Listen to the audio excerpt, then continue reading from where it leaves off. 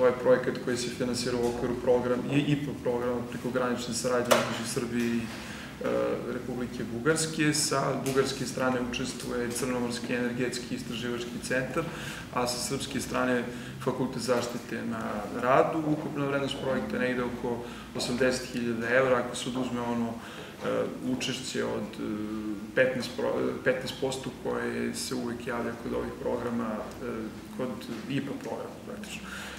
Ovo danas je, ovaj današnji sastanak i ova promocija u stvari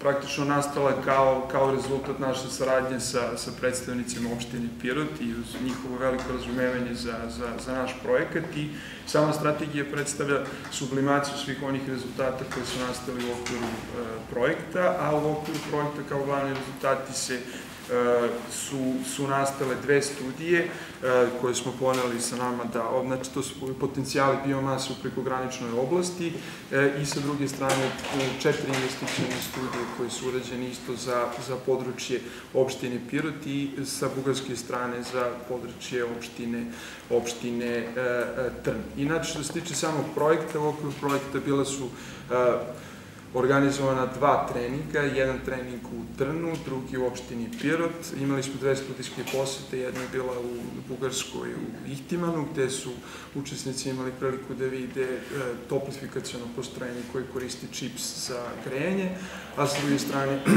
u e, Srbiji smo imali priliku da vidimo postrojenje za proizvodnju peleta u e, Gadžin Hanu.